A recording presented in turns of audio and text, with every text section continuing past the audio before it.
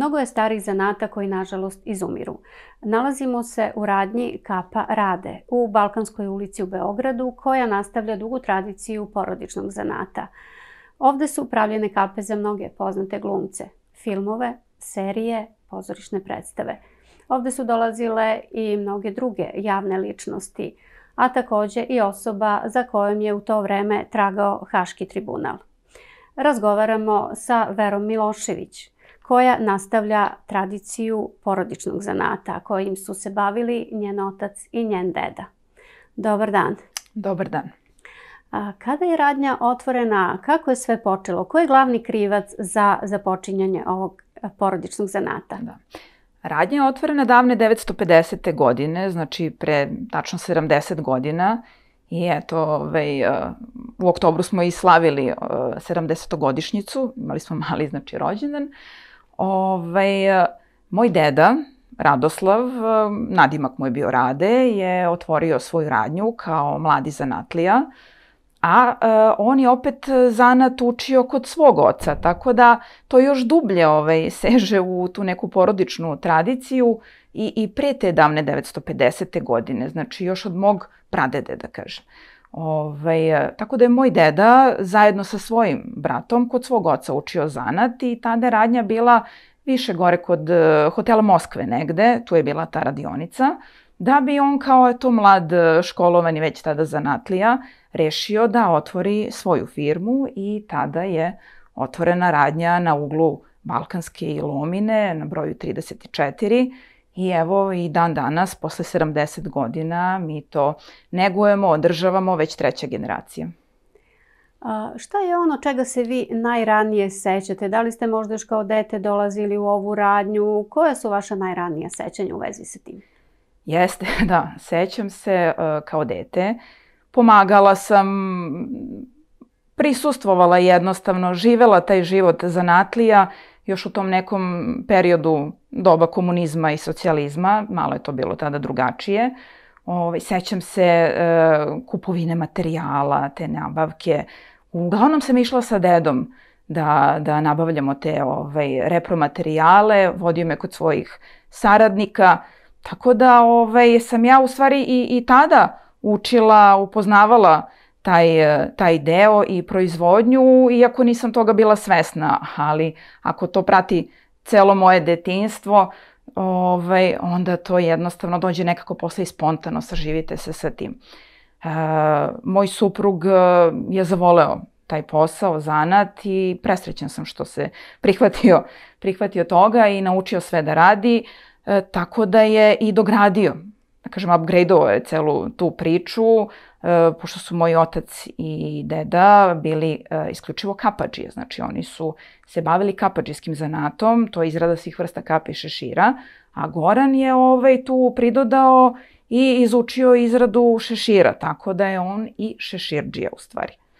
Eto, to je, ovaj, to je jedna interesantna ovaj, stvar i nadam se da ćemo nastaviti, znači dalje naša deca, da će, da će to sve, da će krenuti tim putem i nastaviti.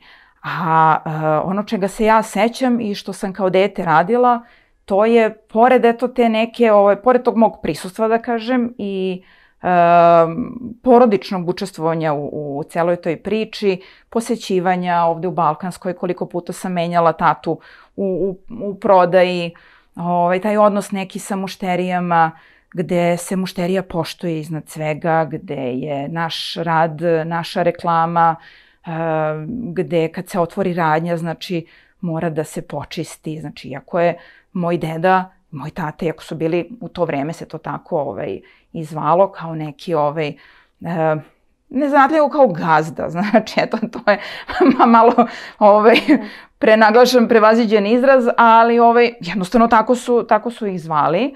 Ove, on se nije libio, znači, ove, da počisti radnju, da pospremi, da, da sve odradi ove, ono što treba od početka do kraja i to je nekako usadio to poštovanje prema poslu i, i ljubav prema svemu tome i, i u nas.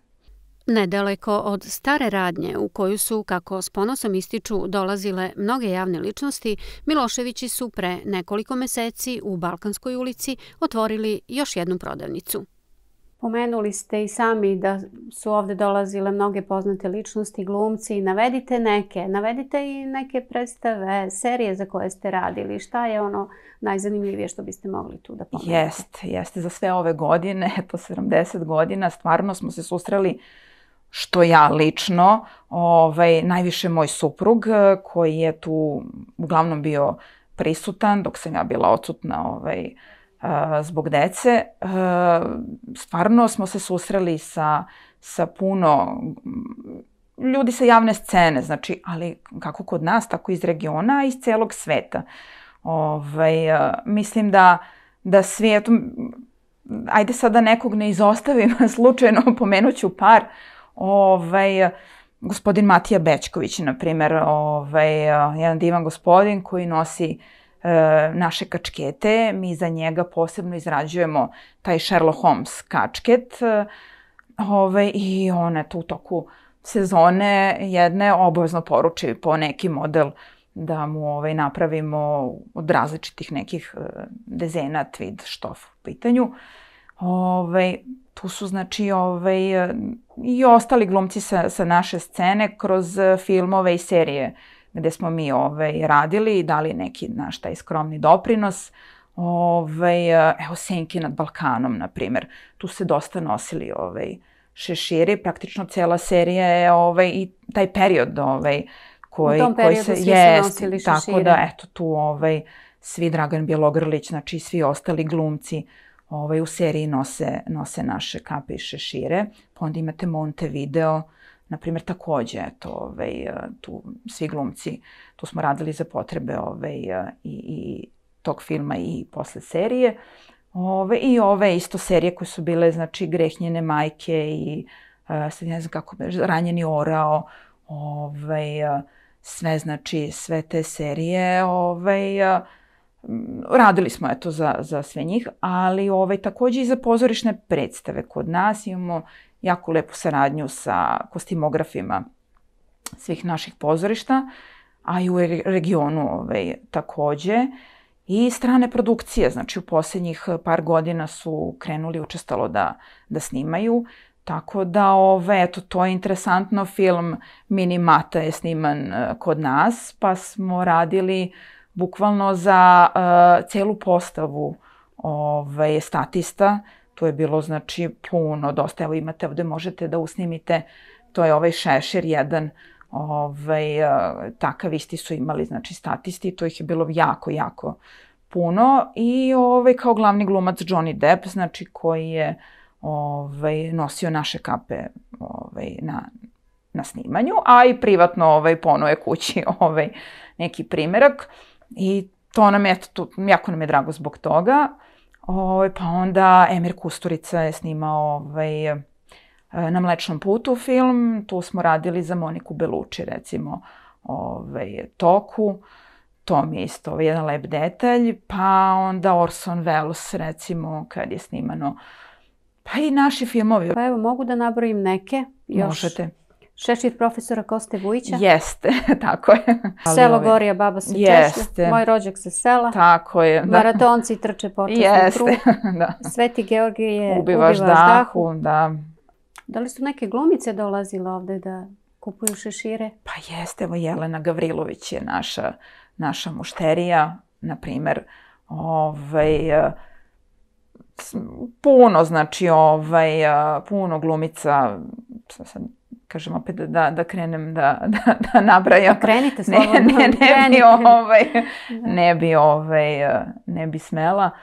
Ovaj, ali stvarno vole i znaju, pogotovo i glumice naše koje su dame, ovaj, o, vraća se to nekako i one su prve se osmelile da ponesu ponovo šešire. Ovaj, Jelena Garlić, na primer, voli Panama šešir.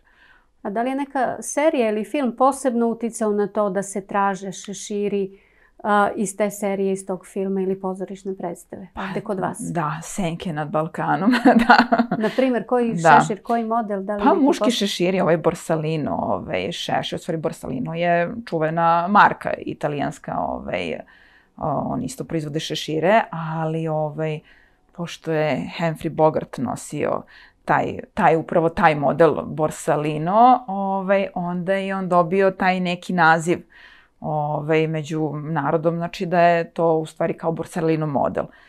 Ovaj, dosta se taj šešir, znači klasičan taj muški šešir od zečije dlake, uh, se traži u posljednje vreme, odnosno od kad je krenuli. Kako koja serija, film, nešto što je popularno, na primjer, ovaj, ta, tako krene i neki model da se traži. Evo sad imate seriju, englesku seriju, ovaj, uh, gde se ponovo ovaj, uh, isto u tom periodu se baš nosili, kad je snimana serija Peaky Blinders, na primjer, kad se nosili ti engleski kačketi, klasični kačketi, engleski povi, uh, engleski kačketi iz delova, uh, kako je krenulo da se emituje na televiziji, tako je nama ovaj, porasla potražnja, na primjer, za, za tim kačketima. Evo, imali smo lepu saradnju sa uh, našim čuvenim dizajnerom uh, Sašom Milojkovićem i radili smo sa njim uh, dve revije Eto, to nam je bilo ovako ovaj, zadovoljstvo da radimo, recimo. Pa onda Verica Rakočević,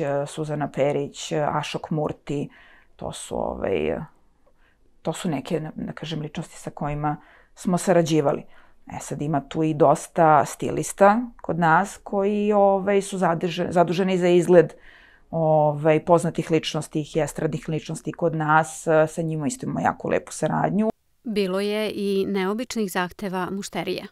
Imamo neke interesantne poručbine ovaj, gde žele recimo da im šešir bude u dve, tri boje, četiri, pa da se tu doda svašta nešto. Ili sada je ovaj, u modi staro a novo, na primer da da se šešir zapali, na primer, da se ovaj, namerno ošteti na nekim mestima, pa da, da to eto, ovaj, bude nov šešir, ali da izgleda kao da je nošen ili stari. No ili kada ovaj, e, se radi za dizajnera, na primer, neko koji ima poseban zahtev, gde recimo uh, zahtev je bio da se spoje tri šešira u jednom, na primer, kao na sprat nešto, eto, to je ovaj, to je sad malo nešto, mislim, to nije nosivo, to je ovaj, već, da kažem, umetnost. Ovde u Radnje je jedna veoma stara stolica koja ima svoju priču. Možete li da nam je ispričate? Jeste, imamo jedan eto, jedan predmet u stolicu koja je draga uspomena na mog dedu.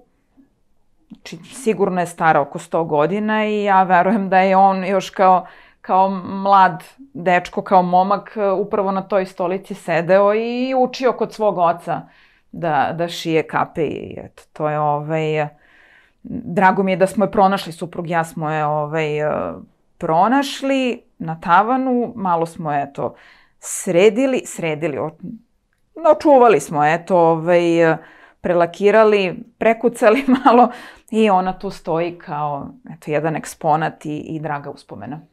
Kako je korona uticala na, na prodaju? Manje je turista. Kako se to odrazilo na vaše poslovanje?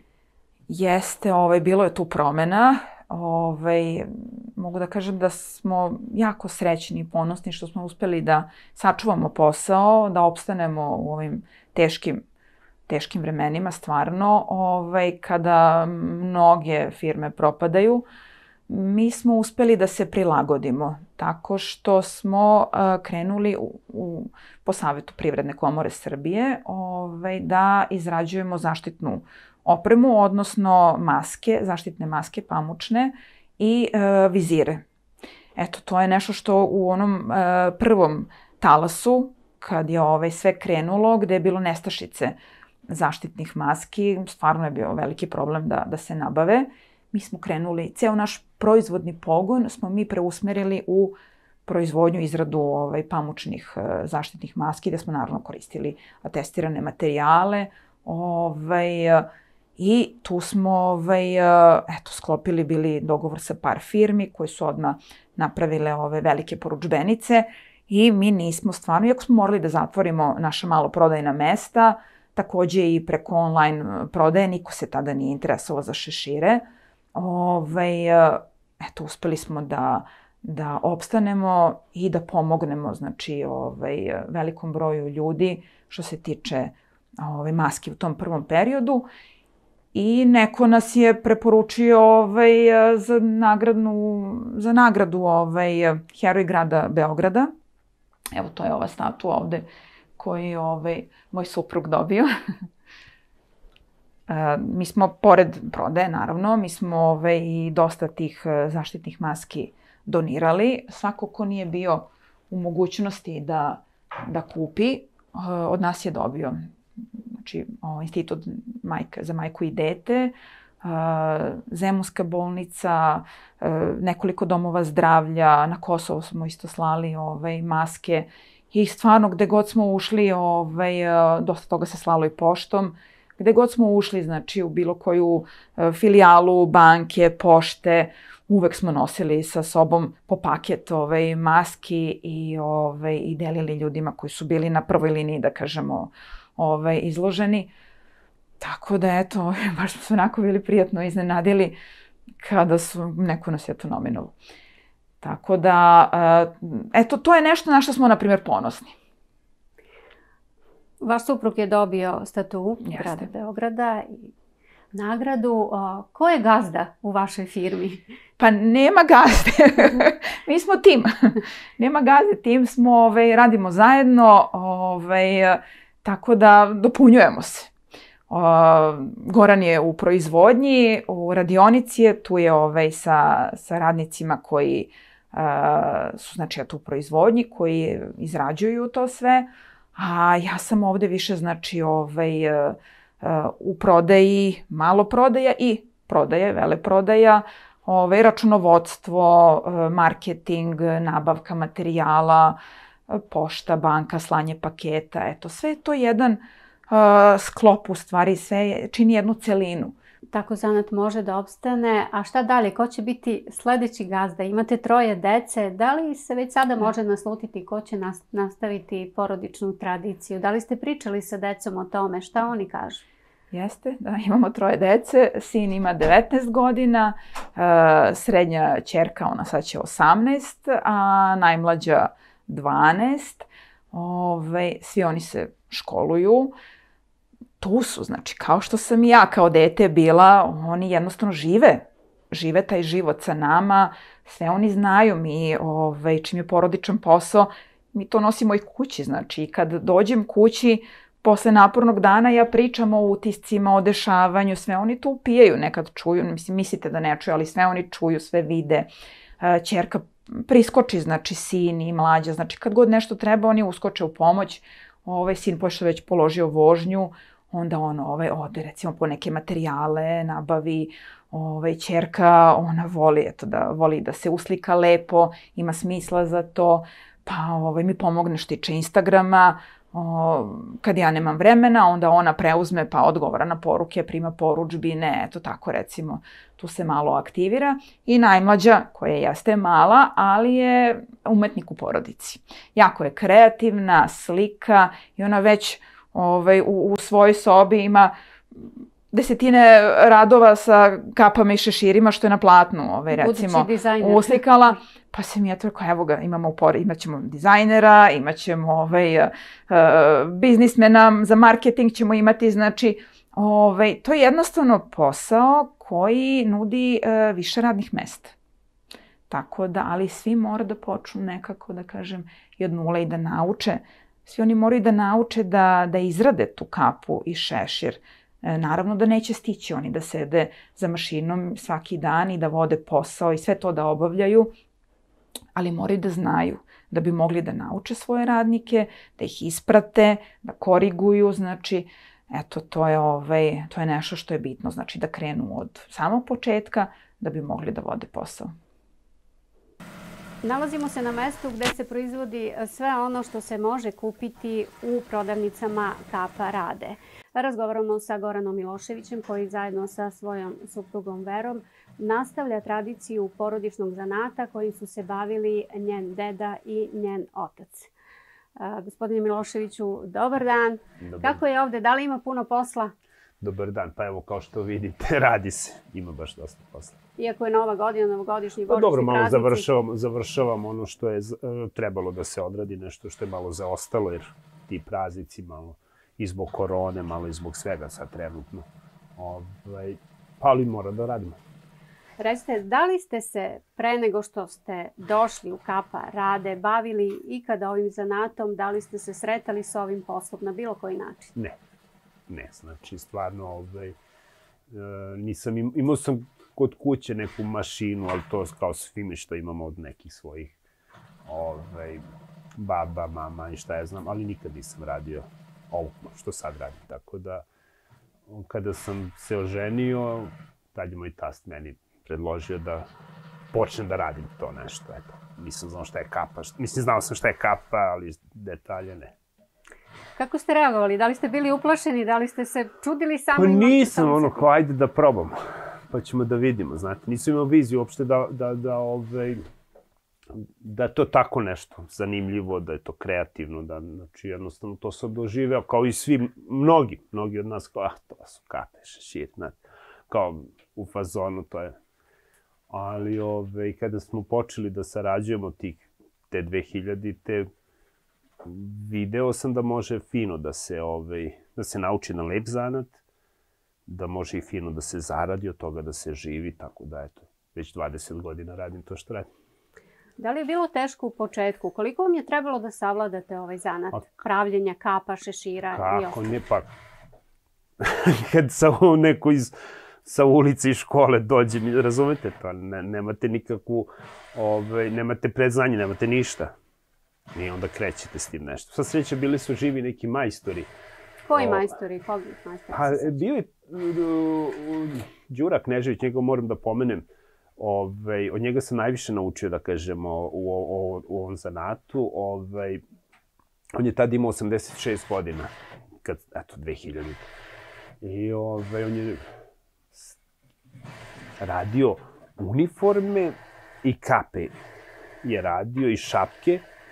Uh, još z, z, prvi svetski rat kad je Znači, i onda je drugi svetski rat, on je u Vasinu imao negde radnju, ne znam sad tačno gde. Posle kasnije dole u Balkanskoj, ispod, uh, iznad nas gore. Ja mislim da, da je 30 broj 30 ili 32. Tako da sam od njega baš dosta naučio, on me učio kako se kroji, kako se šije. Mi smo imali radionicu u gospodar Jovanovoj dole. Tu nam je bila jedna mala radionica gde su bile te stare mašine, gde je da Đura stalno dolazio, ovaj, da on dođe ovaj, oko 4 sata popodne i sa mnom bude do 8, pokazivo mi svašta nekako te tajne to. I onda je jedan isto pokojni uh, Dabić Slobodan, gore iz... Uh, on je imao radionicu svoju u Staroj Pazovi. On mi isto dosta ovaj, pomogao. Što se tiče kapa, i evo sad pokojni majstoraca Cvetković, iz Jagodine čovek koji mi je isto što se tiče kapa. E, a što se tiče šešira, to sam uz ovaj zanat kapađiski uh, uporedu učio i ovaj šešeđijski zanos, a to sam uglavnom sam. I koliko vremena vam je trebalo da savladate još uvek, sve to? Verite mi da još uvek, još uvek nešto moramo da ovaj, naučimo. Većinu znamo, mislim, eto. Ali još uvek ovaj, učimo. I koliko vremena je potrebno da se uradi, da se završi jedna kapa, jedan šešir? Pa gledajte, to relativno ide brzo kad se organizuje posao. Znači, treba da se skroji treba da se sastavi taj deo, treba da se ovaj, posle to ispegla i to je to. Znači, ja ne znam, u proseku između, zavisi od modela, jedno 45 minuta do sat vremena efektivnog rada za jedan kačket. Da, zimski kačket, ajde. Ali o, šešir treba duše. Čuli smo da su u vašu radnju ulazile različite poznate mušterije. Koga biste nabrojali? Pa gledajte, da što se tiče tog glumačkog sveta, znači ja ne znam ko nije, iskreno.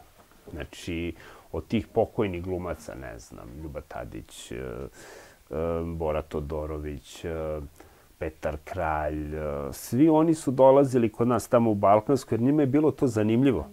Oni dođu, sednu, popričaju s mojim pokojnim tastom.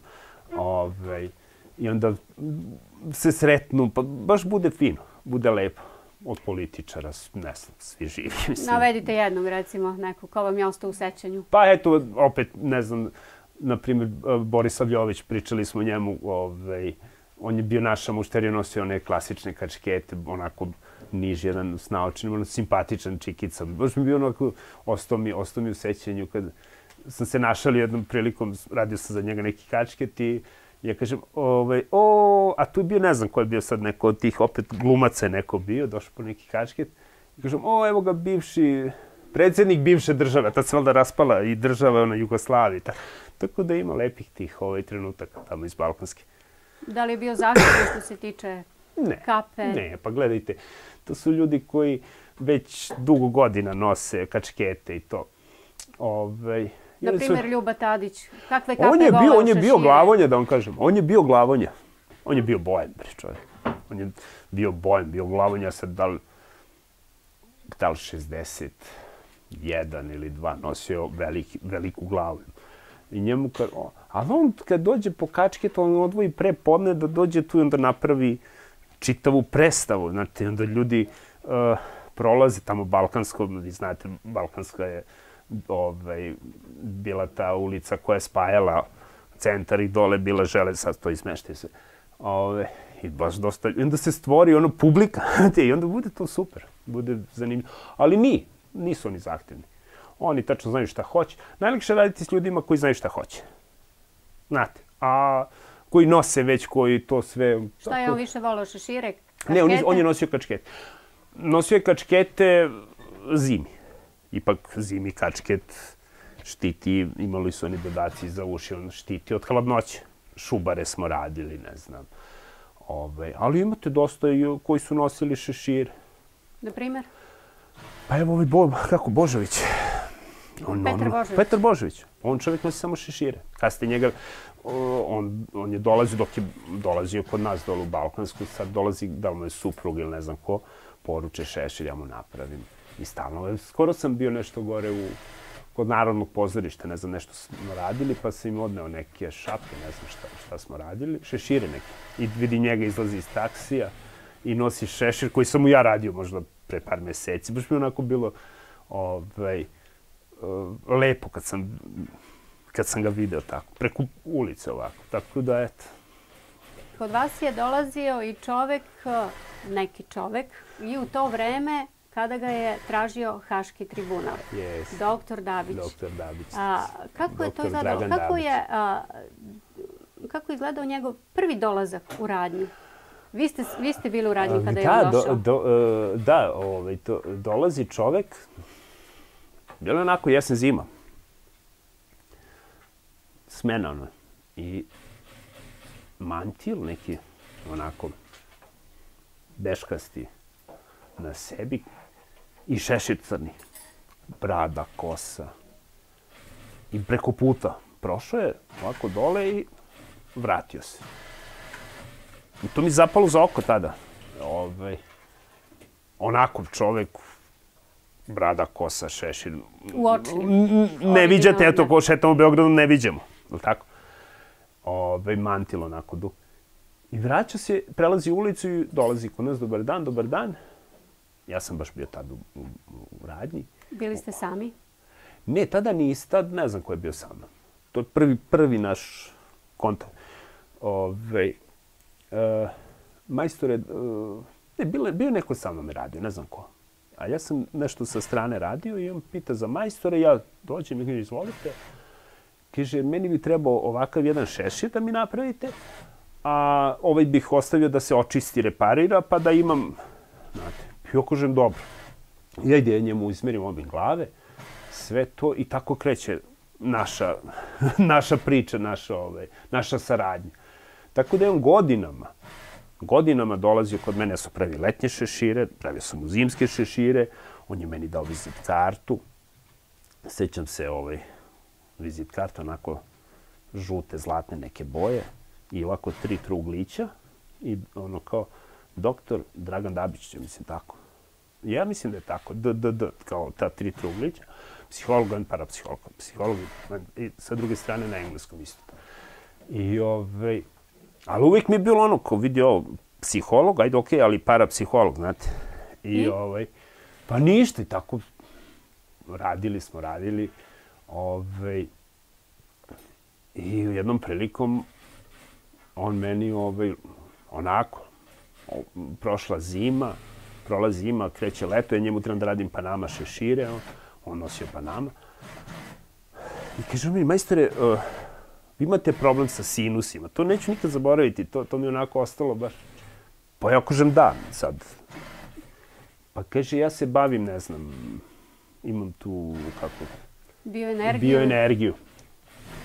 Koliko hoćete ovaj, da vam pomognem, kaže, znaš, ja kažem, mislim, nemam šta da izgubim, ajde. Čuo sam priče da ljudi pomažu te, ovaj, ta alternativna medicina, da je dosta ljudima pomogla za razno razne te ovaj, bolesti koje imaju.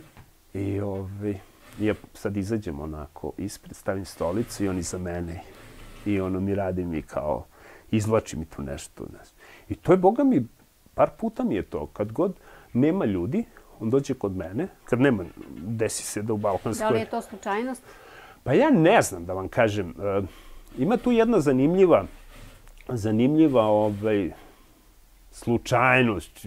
U to vreme sam ja sarađivao s nekim, ajde, neću da pominjem, pominjem imena, uh, on je bio, uh, mislim, pukovnik u vojsci Republike Srpske, a, zadužen za bezbednost. Nešto smo radili. On je čovek ostao bez noge u tim ratovima. I on je stalno dolazio kod mene, to sam ja kasnije, dolazio kod mene, jer smo nešto, kažem, sarađivali, i on sedi tako za stolici i zapali cigaretu, ima ono muštiklo, onako sedi, pričamo, mi, baš je bio onako. I kad god je on bio, tad je dolazio i ovaj. To, to je vrlo zanimljivo bilo. E sad ja to nisam povezivo jer Biste nisam ni znao, nisam, pa nisam znam, da sam ga možda ranije, znate. I ovaj, to, to meni kasnije, kad je sve prošlo, prošlo kroz glavu. Kako su uhapsili Radovana da, Karadžića, Radovana reče Karadžića, Radovanu tako, Karadžiću. Tako i ovaj gospodin, mi smo završili saradnju otprilike. Vama nije uopšte gospodin Dabić, odnosno lekar Dabić, ličio na Radovana Karadžića? Ne, pa kažem da sam ga, pozna, da sam ga znao dok je bio Radovan Karadžić. Možda. Ali opet, kad vi pogledate fotografiju jednu i drugu, kako? Mislim, kako da... Ja, ja ne bi mogu da, da prepoznam. I, ajde, da, da završimo od, od, od, do, ovaj, zove mene moj knjigovođa, kaže, pogledaj, ne znam koji portal tamo nešto, internetu, ja otvorim, vidim čoveka. A čujem priču uhapšen, Karadžić, sve, sve novine, radio, televizija, sve. Otvorim ja taj portal, vidim, čoveka znam pored, ne znam, imao je neko, on je držao neke tribine gore po Vojvodini i sad sedi on i pored njega beli, beli šešir, onako na, onoj, na onom stolu. I, ovaj, I ja se zovem knjigovođu i kažem, pa to ovaj, pa kaže taj, pa ja kažem proko koliko puta smo sedeli s njim, čak i on tu vodu i kafu popio. Koliko puta smo sedeli i pričali s čovekom, da ne znamo ovaj, ko je. Pa kaže, eto vidiš. A taj moj knjigovođ, on je bio nešto, direktor nekog, za statistiku neki, ne. Čovek koji strašno pamti, strašno je, ovaj, kaže, ja nikad ne bih, ovaj, ni, ma kakve, kaže, nema šanse. Tako je bio majstor je u, u, u prerušavanju svakom učestvu. Ali vi ste mu pomagali praktično u tom prerušavanju. Bili Pogledajte, ste mu ja ne znam. jataka, možemo pa, tako da pa, kažemo. Da vam kažem, ja nemam, uh, iskreno, da sam znao ko je, da sam znao ko je, ne znam da li bih, verovatno bih, mislim, ajde. Ja sam, ovaj, verovatno bih mu pomogao i tada. Ovaj, nikad ga sigurno ne bi ovaj, odao, to, to bar ja tako mislim. Ovaj, ali nisam, stvarno nisam znao ko je. Nisam znao ko je. Posle, pitali su me mnogi, šta bi uradio? Ne znam. Znači, ja bih ga ispoštovao, ako on tako, to je to i to je to. Ovako ste makar i nesvesno bili Nesvesno, neka vrsta jataka nesvesno da, njegovog. nesvesno nekog da. Nesvesno. Pa koliko smo generala ispratili u Hag. Kad dođe, kaže, sad sam zaboravio, neki general ima Brčić onako, kaže, došao kupuje ovu moskovljanku kapu i u predveče. Kaže, sutra putujem za Hag. znate, ja sam njemu, ajde, srećan vam put, pa da nam se vratite, znate. Posle vidim osuđen, ne znam na koliko godina i to. Tako da, ovaj, ima iz tog perioda baš onako zanimljivih priča. Da li vam je doktor Dabić pomogao kada je reč o sinusima? Pa gledajte, ja sad imao sam problem s tim sinusima, sad trenutno nešto nemam. da li je to uticalo, nije, ali to je bilo mnogo davno, ja ne znam, ima sigurno kad je on uhapšen čovjek. Ja ne znam sad kad je to bilo, da li 2012. kad je uhapšen, o, 9. 22. Ne, ne znam, baš je bilo davno. Ove, ali ne znam šta da vam kažem. Možda da smo nastavili tu našu saradnju, možda bi pomogao. Možda nije stigo, nije stigo da, da, ovaj, da završi tu te Da li seanse. on imao neke posebne zahteve kada je reč o šeširima, bio je, gledajte, bio je, ne. A, mislim, ja to sad pričam kad je prošlo. Bio je gospodin. Bio je gospodin. Bio je gospodin.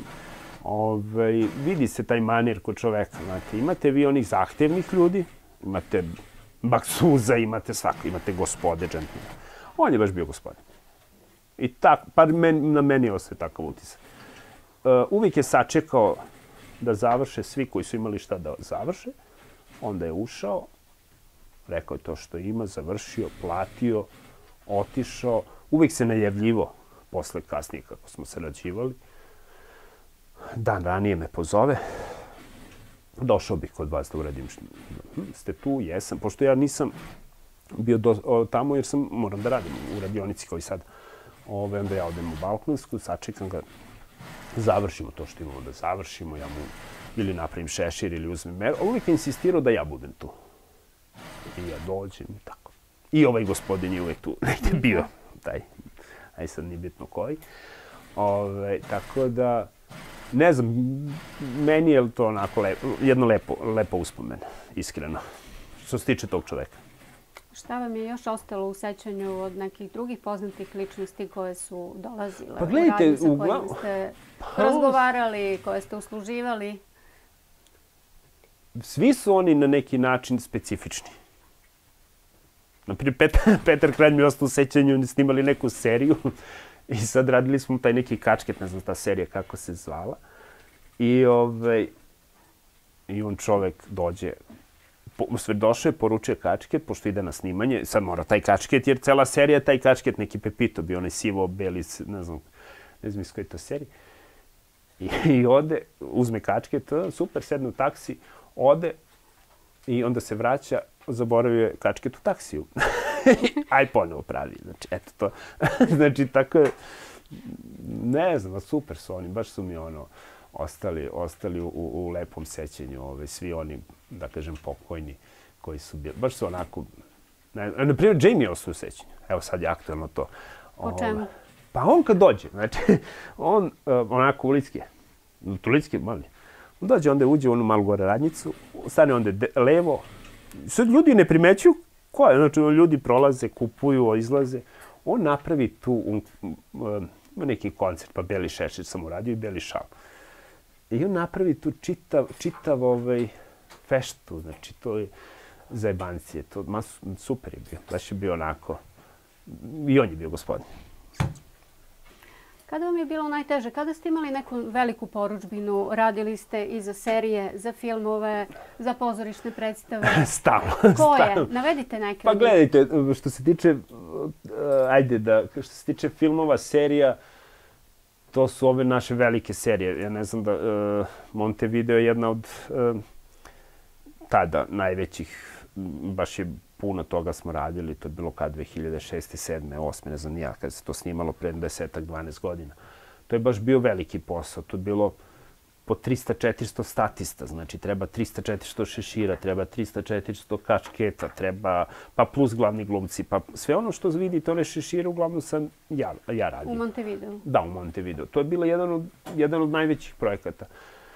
Pa na, ima sad ove Kralj Petar, ali tako? Uh, Da. Ne znam, ja te slabo Film. to... Film, da, Da, Petar. Petar. Da. to je isto bio jedan onako malo veći projekat, zahtevni projekat gde ti nemaš uh, original nečega, nego radiš uh, po slici, radiš po nacrtu kostimografa ili ko je već radio. Ovaj, tu je bila neka i bugarska vojska bila neka, ne znam, nije austrijska, pa naša vojska, pa dole Albanija, ono svašta nešto. I to je baš bilo onako, ali u stvari to je zanimljivo. To je zanimljivo. Za koliko ste tada vojnika Pa ne znam, da tu se radilo, a gledajte, mi Da radimo, mi radimo uglavnom, um, Jer je bilo puno statista. Da, ali gledajte kako to funkcioniše na filmu. To, to su mali budžeti. I onda za one statiste koji su tamo negde, tamo može šta god. Ovi koji su malo bliži krupnijem tom kadru planu, njima mora malo bolje. E onda o, oni tačno naprave, ne znam, ajmo, 50 ovoga ili 100 ovoga, glavni glumci zna se šta treba kad je krupan kadar kad to. I onda mi uglavnom radimo te glavne glumce i te malo, da kažem, sporednije malo ono. A već ono što je u daljini, to da li oni šta radi, ne znam, ove, nađu neko nekim fundusima i to bude tako. Znači, ovaj, uglavnom te malo finije stvari mi radimo. Da, da mora to da bude lepo ipak da bude. I trudimo se da to bude što originalnije. Jel sad smo radili, to još nije izašlo, uh, Aleksandar da Karadžorđević sad, još nije izašao taj film. Ove, baš smo dosta tu radili, i Šešira, i Kačketa, i, i Šubara, i uh, ne znam ni ja šta sve nismo radili, baš veliki jedan projekat. Pa da, radili, isto je Ivanka radila o Jasenovcu, i taj još nije izašao, to ćete gledati verovatno, m, verovatno u ovoj godini, e, se namontira to. Ove, stradanje je uh, Srba U Jasenovcu, u Jasenovcu da. I onda smo radili ustaške kape. Možda, znači, radili smo ustaške kape smo radili, nemačke kape, šapke ove, smo radili, uh, radili smo te za naš, za nara, ono, kačkete, šešire, to. Ove, radili smo te male za tu mm, decu, uh, podmladak taj, ja ne znam to kako je išlo, uh, male te dečije ustaške kape isto. A čekajte da nađemo ovu, onu, onu ovaj, drogatu kapu. Evo vidite ovu, o, ovu neku rogatu, kako je mi zovemo, ako se vidi. Kako se, a, kako znati koji broj šešira nosimo? Moramo, Kako se računaju brojevi šešira? pa gledajte, svaki, svaki, svaka glava tako je neka određena, evo, naj, najprostije, najjednostavnije, krojački metar, je tako? Znači, samo se uzme po sredini čela, malo iznad uveta i to vam je obim glave. Evo, ja nosim broj 60. Vrlo prosto. Ovo je jedna stara Singer mašina koju, e, ne znam koje godine, e, moj tast i ja smo kupili ovaj, e, kada je umro jedan majstor koji se zvao Ljuba Pavliček. On je na toj mašini, sam, ja sam obnovio ovu, ovu dasku jer je propala, ovaj, on je na toj mašini e, radio e, šapke za e, Josipa Broza Tita. Lično je on, taj e, Ljuba, radio ovaj, e, i on, oko njega su ovi odbaši dolazili i kaže, tog se seća, ja ovaj, znam priču, kaže, za druga starog, tako su zvali Tita, i onda je on radio na to. I ja sam tu mašinu kupio samo iz tog razloga da mi ostane kao, kao uspomena na tog čoveka i na tu priču. Eto, i ona stoji tu kao, eto, ona radi ispravna, ja na njoj šijem i danas dani. Ove, servisirao sam je, ove, on kad je umro, njegova pokojna supruga je zvala mog tasta, pošto su oni bili, ovaj, uh, sa, sa, sarađivali su. Ne znam, on je radio u nekoj vojnoj uh, firmi, da li jedinstvo ili ne znam kako se zvao. I ovaj, kad je otišao u penziju, on je tu mašinu poneo sa sobom. To je bila njegova lična mašina. Tako da imam još tih par, tih starih mašina na kojima sam ja učio zanat. I to mi ostale, ostale su kod kuće ovaj, da neko stoje, pa možda deca. Deci bude zanimljivo za nešto, tako da. Kad smo već kod dece, da li već znate A ima, ko gledajte, imam troje dece. Imamo posao? troje dece, znači Lazar, Andreju i Lanu.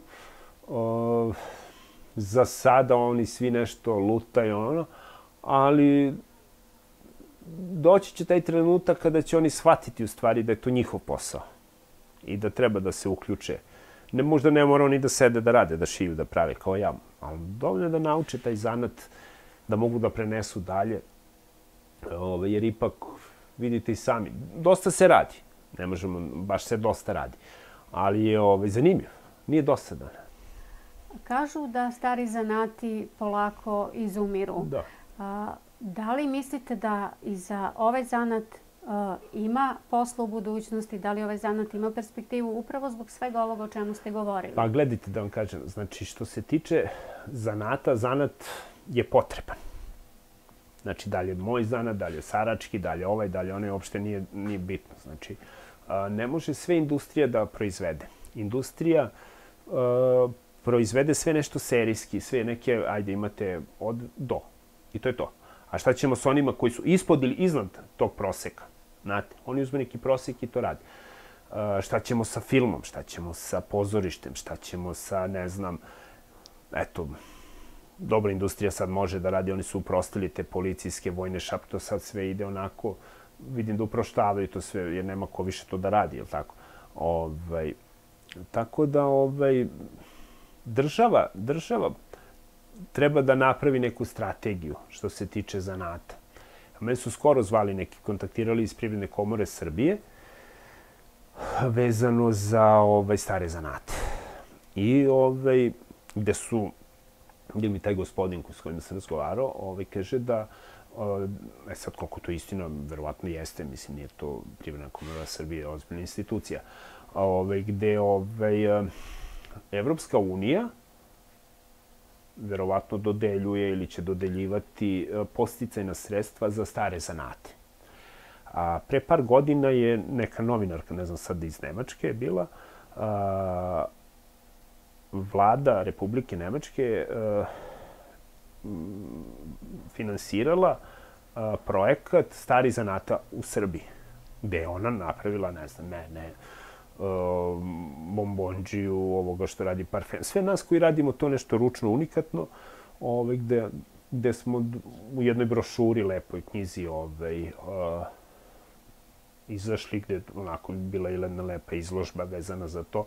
Ovaj, I ovaj, gde oni hoće da zaštite u stvari zanat kao zanat. Evropska unija. Jer to kod njih, ja mislim, ja sam baš dosta putovao, nisam video da ima tako tih. Možda ima u nekim kućnim varijantama, ali to ove dosta niže nego kod nas. Ipak kod nas je to malo zadržalo. Jer kod nas kad dođe turista, on se oduševi. Znači, on kad, ja, ovo nisam, dođu Japanci, oni se raspamete, oni odmah slikamo, ne znam, Amerikanci, to kod njih nema. Znate, i tako da. Ali država dok ne napravi strategiju, da zaštiti stari zanat, da mu pomogne, ne znam na koji način. Mora nekako, ne znam, jer dosta ljudi odustaje. Dosta ljudi odustaje. Jer vi ne možete, vi imate isti tretman kao i preduzetniki, kao, ne znam, ovo je isto vam je sve. Šta bi tu, na koji način bi država pa mogla ja da pomogne? ne znam, možda da se napravi neki neke olakšice da se daju tim ljudima, ne znam, u porezu, u možda neke, neke i, i ove stimulansi, stipendije uh, ili otpisi nekih. Ne, ja, ja ne znam, nisam toliko stručan što se toga tiče, ali svaka pomoć za natli je velika. Miloševići, po svemu sudeći, ne bi trebalo da brinu za budućnost i opstanak zanata kojim se bave, pošto se njihov sin Lazar još u trećem razredu osnovne škole jasno opredelio i čak u pisanoj formi obavezao da će nastaviti porodičnu tradiciju.